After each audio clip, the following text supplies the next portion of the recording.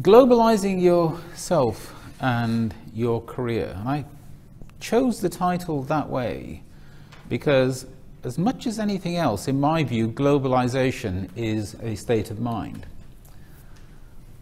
I'm going to start off by talking a bit about myself because essentially that's why Jesse sort of created the talk. And what I want to do is to see what I can pluck out of my experiences. I'm now 68. I've had a full working career that I retired from nine years ago to share with you, given that you shortly will be starting out on careers that will take you well into the middle of the 21st century.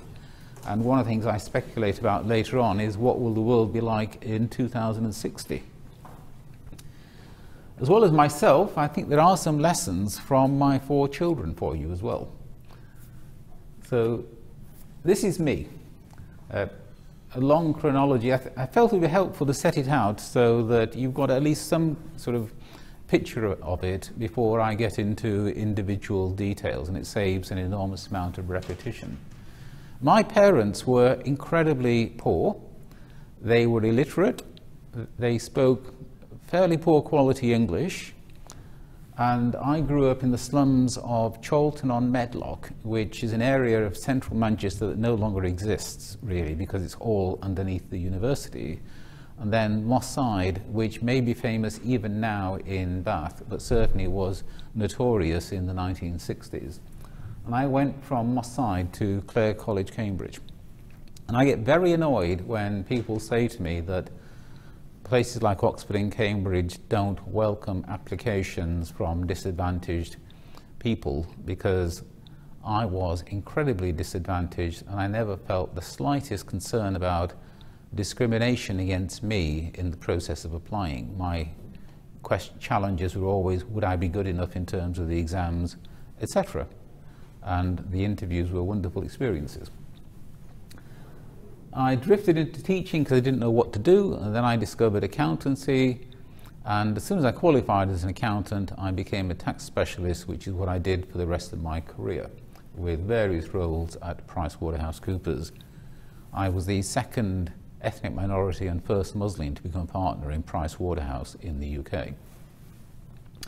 And one of the things I've done in retirement is teach myself HTML and construct my own website where there are over 600 pages, including some very specific tips on personal success, which range from the very big picture to the really micro, such as how to use your telephone. So being global, in my view, is a state of mind. Two journeys. I came to the UK in 1952 by ship. I was aged one and three quarters. I didn't leave the UK until 1981. And the reason is very simple. We were extremely poor. When I was at grammar school, having passed the 11 plus, the school had regular foreign excursions. I never even thought about asking my parents if I could go on one because I knew we couldn't afford it. And similarly, when I was at university, uh, having spent three months away at Cambridge, you know that your parents want to see you. So I spent all my university vacations at home in Manchester with my parents. But in 1981, when I was a newly promoted manager at Arthur Andersen, the firm's policy was to send all managers, all new managers worldwide to New Manager Training School in St. Charles, Illinois, which is a former uh, Roman Catholic college that the firm had bought and used as its worldwide training center. And it had a policy of shared bedrooms, and they used to make interesting choices about how they paired people off. So I don't believe it was a random coincidence that my roommate for the three days I was there was a white Afrikaner from South Africa whose hobby was pistol shooting. They want to see if you can get on with people. And then you had everybody who went on this new manager school. There were five of us from Manchester office, had a, booked a few days holiday. I had decided unilaterally I was going to go to Washington, D.C., no matter what anybody else did. And lo and behold, they all decided to come to Washington, D.C. as well. it shows the benefit of being clear yourself what you're going to do. People just follow you. And what was interesting about Washington was that I was the tour guide. None of us had ever set foot in Washington before. I think all but one of us had never been to the USA before, but yours truly was showing his colleagues around Washington, D.C. and telling the history of the buildings. And why? Because I had absorbed so much of the USA as I was growing up. Everybody chooses what they eat, everybody chooses what they read, everybody chooses what they watch on television, everybody chooses what films they go to, and you become the result of your choices. It's a point I make regularly when I speak to school children. I spoke to three schools in Birkenhead, all Roman Catholic schools, on Friday of last week. And I used to read Time and Newsweek, and at university I came across the New York Review of Books, which is the most intelligent journal I have ever come across, and I still subscribe to it now. There have been gaps when I didn't subscribe because I got so far behind with reading it, but I would recommend that to anybody. It's incredibly broadening of your mind. And on TV, I followed US politics from the age of 10. When I was 10, I told my mother to get me up two hours early at 6 rather than 8 so that I could get the result of the 1960 presidential election as early as possible. When I was 14, I stayed up all night for not just the UK general election, but the American presidential election. Slattery's people, if you search on the Internet Movie Database, you'll find more about it, but it was a, a television series about some state legislators, I think in New York State. But again, you, you can absorb so much of another country's culture without ever setting foot in it if you choose to do so. So, a bit more about my career. I was a tax specialist. Big accounting firms like PwC, they basically have three arms. They do tax, they do auditing, and they do management consulting. And they are in that order of being country specific. So tax is by far the most country specific. Auditing is pretty global, but every country has some company laws of its own which are distinctive, and management consulting really is incredibly global. And as a tax advisor, you only advise on UK tax because it's hard enough to know one country's tax system. But you need to understand other countries' tax systems if your clients are engaged with them. And nobody can sensibly advise the UK subsidiaries of a US multinational without understanding US tax. You don't give advice on US tax, but you really have to understand it, which is why Arthur Andersen, when I became a new manager, sent me on a, a one week course on US taxation. And the same applies when you're investing overseas. I needed to understand enough about taxation in India, for example, to be able to tell if the Indian firm was talking sense or talking nonsense when advising my client in the UK about the tax affairs of its Indian subsidiary. And you do get involved in some very big international transactions where you're trying to coordinate PwC offices all around the world because your client is either buying or selling something very big with lots of different companies involved, each of which has tax issues, and you have to understand the local country issues and also how this interacts with UK tax law. One point about technology, because everybody says, you know, with video conferencing, why is there so much international travel? What about your carbon footprint? You can't get to know somebody at a distance. You can deal with somebody over the phone a lot, but you really do need to meet in person, which is why sensible heads of tax of multinationals make a, spend a lot of their time traveling around the world, meeting their overseas advisors. You need to know what a person's like over dinner, what about their family, and these one-to-one relationships are incredibly important. My largest US client I served throughout my 22 years at PwC.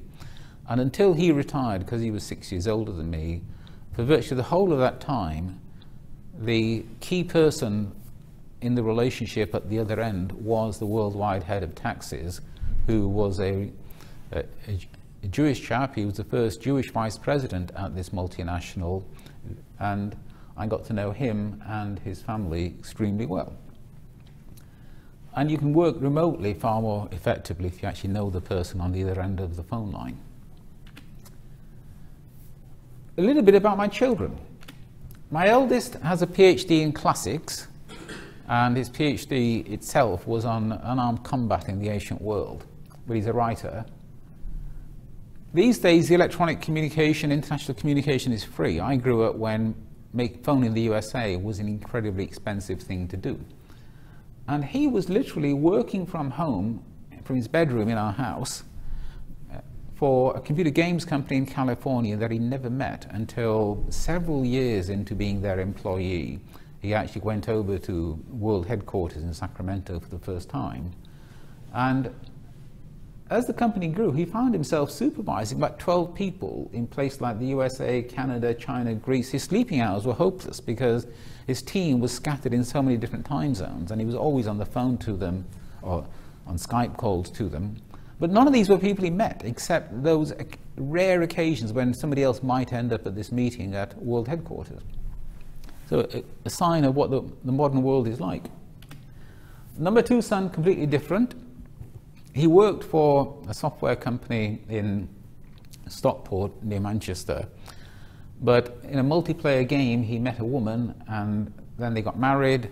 He moved to Detroit. They've since split up, no children, but he's going to settle in Detroit. So, very different kind of globalization. He's just gone somewhere else. Eldest daughter, my, my, my daughters are the big travelers. The boys never really sort of went anywhere. Uh, and she spent many years doing field work on pottery in Uganda, digging it up and classifying it. Got disillusioned, and, but she likes traveling. She's now a consultant with Accenture. She's been there for a couple of years. And the modern consulting lifestyle, she literally can be told on a sort of Wednesday, maybe, I don't think you've done it on a Friday, but say on a Wednesday, next week you're in South Korea very different aspect of globalization again. And the last one, daughter who did Japanese, she simply spent a couple of years living in Japan teaching English because more and more people these days do choose to go and live overseas for extended periods. So, what do I think about the future?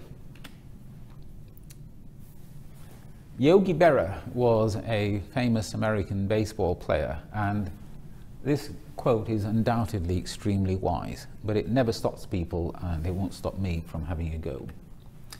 I'm a shareholder in Berkshire Hathaway, the large American, you can't really call it an investment company, it's really an insurance company with lots of other bits stuck on, but it does all kinds of things. It's a massive conglomerate. And Warren Buffett, who is its CEO, and its largest single shareholder is now worth 83 billion. In fact, there's a website you can go to which tells you his net worth every day, obviously just based upon plugging in his shareholding in Berkshire Hathaway and multiplying by the share price.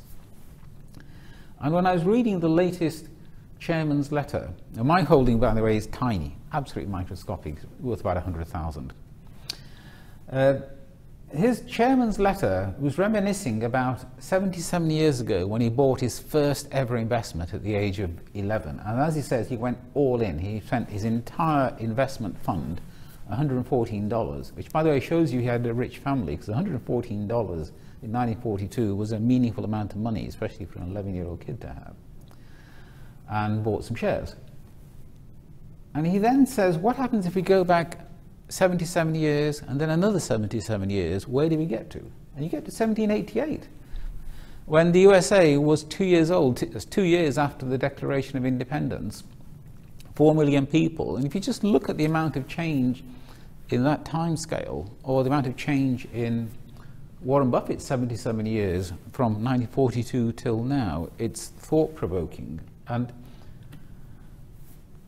just looking at the UK in terms of real incomes, if you go back to, to me, 1950, it, real incomes were about sort of seven and a half thousand a year compared to 25,000 a year, and these are inflation adjusted numbers.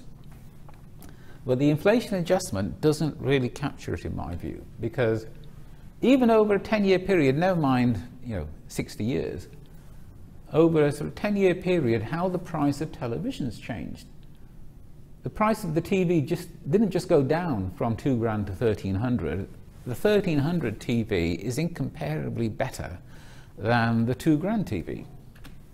And when I was a teenager, I used to dream about having a, some kind of electronic connection to this massive library of knowledge. And of course, it was a complete fantasy. The technology didn't exist, there was no library, etc. But every one of you carries one of those around in your pocket. For decades, people tried to get computers to play chess, and they were hopeless. Then all of a sudden, they were very good. And the best chess players in the world since, for 20 years have been computers. Go, which is a Japanese board game that I also play, uh, was much harder to, for, to computerize, but 20 years after Deep Blue, a Go program running on some quite good hardware managed to beat the world's top human Go player. The DNA was discovered in the 1950s. There's a link with Clare College, and we spent billions decoding the human genome, which we can now do for $1,000, and we can edit the genome. So the pace of change isn't stopping. In terms of what I expect, self-driving cars are coming, and I don't think I will ever buy another car, because when my present car packs up, why should you own a car if you can just summon a, a, a driverless car on, your, on, on an app and use it for the couple of hours that you want it, whereas most of the time my car is sitting in a garage doing nothing.